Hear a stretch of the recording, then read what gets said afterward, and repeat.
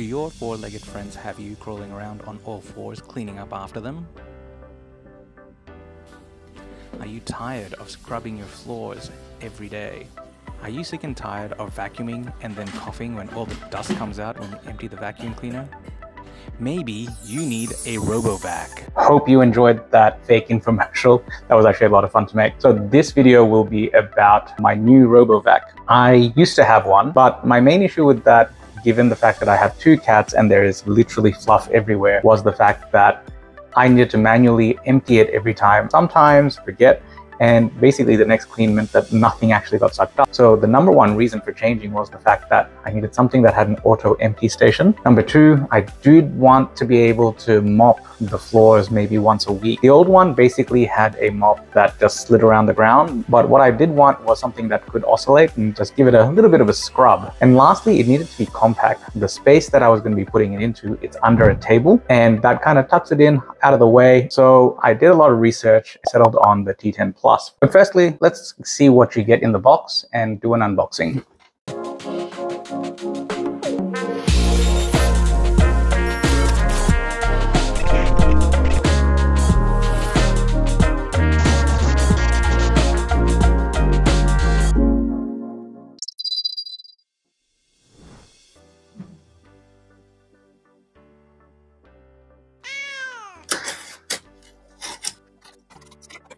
Firstly, we have just a sheet explaining everything, and it comes in two separate pull-out handles.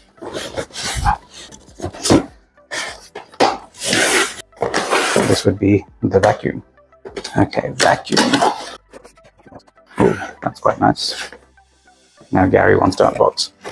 So in this one, we have all the accessories. So we've got the mopping pad, filter, more extra mopping pads, little cleaning tool, power cord. There's a little perfume thing that you can attach uh, so that once it cleans, it actually makes the place smell better. The left and right cleaning brushes. Okay, next up we have, there we go. That's the new Deebot.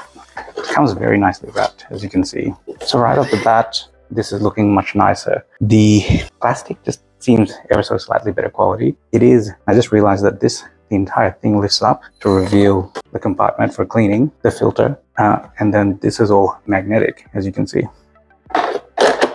The other parts to this, obviously, you've got the cameras, the side checks, there's the downward facing uh, obstacle detection, there's the two spots for the side brushes, and the charging port this time is on the back, whereas in the past, in the charging contact points were right at the front here, which they're gone.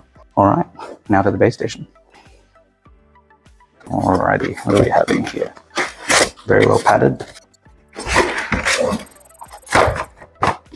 Here we go. This is the base station. And here you can see there's a bag already installed that's going to auto empty. And the good thing about this is you pull this tab and it closes off the bag so you don't get any dust and particles flying everywhere. Other than that, the charging contact points. This is the duct that actually sucks up all the dust and debris from here straight into here. On the back, power point and somewhere to coil the cords up. Pretty basic. Now we also have this thing. And this just appears to be a tray so that the RoboVac docks appropriately. So, like I said, unlike the previous version, this time around, this reverses in to dock rather than going in from the front. So yeah, that's a quick unboxing. I'm to set it up and show you how it goes.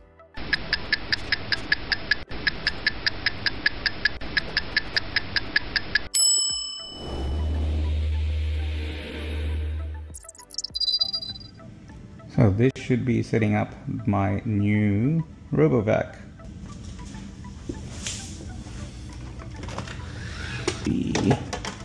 Here we go. I'm going to just put in my Wi-Fi password. I'm going to turn the robot on, so... There we go. We... That's probably the sound. Thanks for choosing the Ecovacs robot. Please scan the QR code for details. So it's connected and it should be transmitting the Wi-Fi details and logging in the app. Uh, what should we call it? I'm gonna call it Robert the Robot. Welcome back.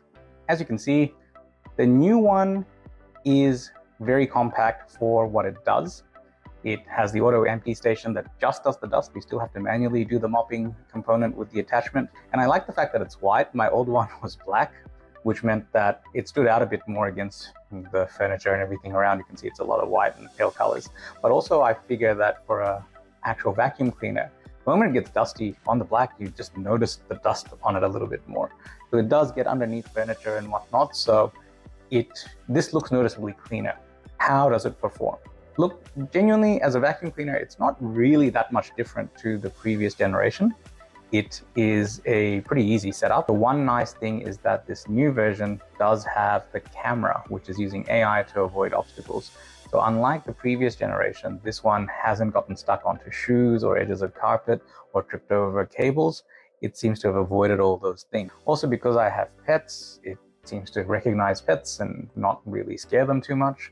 And though I haven't had this yet, but my cats haven't done any nasties on the carpet or on the floor that the vacuum would have needed to avoid. Hopefully I never have to test it. Now, in terms of mopping, this doesn't have the spinning mop pads. It has an oscillating pad. So it kind of is scrubbing the floor lightly as it goes. So this is an improvement on the previous version and something that's kind of nice to have. The floors end up looking a lot cleaner. And it also helps just get those little fine particles scrubbed up into the actual mopping pad. So at the end of a clean, the Deebot will go back to its docking station and you can hear a fairly loud whoosh, but it does manage to empty the entirety of the storage container out so that it's ready for the next clean. Start charging. Start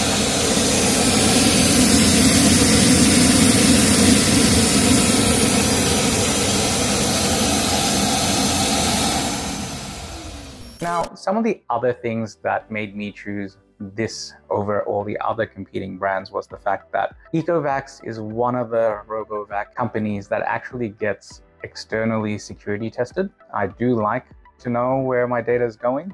One of the other special features this has is the fact that you can access the camera feed during a clean or any other time really. The reason I kind of like it, even though it feels a little bit creepy, is the fact that I do have pets. So sometimes when I'm away, and just actually turn it on and have a look and see what they're up to. One other interesting thing which I haven't used yet is that you get these little fragrance capsules that you can put into, let me just go get it for you. You are given one of these in the packet, which, not sure if you can really see it. It's a little, let me just open it up. It's wild bluebell. So this actually just goes into the mopping station. Just has a nice fragrance that it scatters around the place. So it just makes your clean smell a lot nicer. So, what do I think of it overall? The vacuum component was the most important thing. Is this the highest suction power vacuum ever? Nope. Is this the one that has all the bells and whistles? Nope. I think this is the perfect one that makes the right trade-offs for space, efficiency, and price to get the features that I need for my apartment. Your needs may be different, and there are obviously a lot of different ones out there, but for my needs, I think this is perfect. So those are my thoughts on the Ecovacs Deebot T10 Plus, and I hope you like this little review. I, have you got a RoboVac? Are you going to get one? Let me know in the comments below. So let me know if you like this sort of a video. This is not the usual tech YouTuber sort of a thing. And I'm only just starting. I'm not sponsored by Ecovacs. It's just something that I bought. And so your support actually means a lot. And what you say actually guides what I make because I'm such a small channel and it is totally not sponsored, a like and subscribe goes a long way towards A, giving me the encouragement to keep making these videos, but also just to get the channel a little bit more prominent. So maybe I can do extra reviews. People might actually send me review units so that I can try them out and let you know what I think. So yeah, if you wouldn't mind, please do like and subscribe and I'll see you in the next one. Hopefully it's the video up here about the ironing station or whatever YouTube recommends. Bye now.